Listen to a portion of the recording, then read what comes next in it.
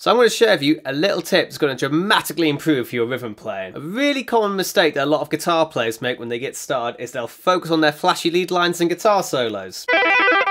And to be fair, playing fast is fun. However, when you start playing live, you will find out that a guitar player's primary job is to get people dancing. So I'm going to share with you a little tip that's going to dramatically improve your rhythm playing.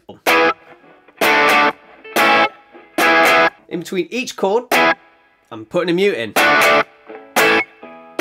And what I'm doing there, I'm just letting my palm on my strumming hand touch the strings in between each chord. That really lets that guitar riff pop up and it really underlines the accents and the rhythm. That's going to get people dancing. I hope you found that helpful. If you'd like a guitar lesson off me, feel free to hit me up.